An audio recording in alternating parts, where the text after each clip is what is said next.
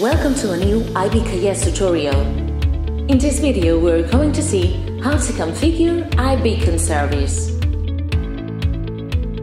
Take the beacon and put it next to your smartphone. Click Scan. And once the app detects the device, stop scanning. Enter on the beacon and select iBeacon mode.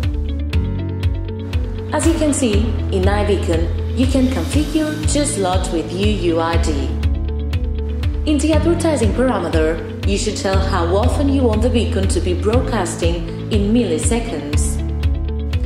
Then select the transmission power. The next attribute refers to the power the beacon presumably broadcast at 1 meter. Now, put the UUID down, the unique identifier information for the beacon.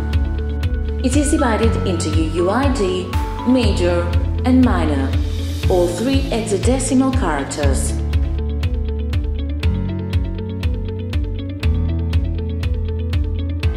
Choose either if you want or not the extra byte option that refers to the broadcasting of the battery level.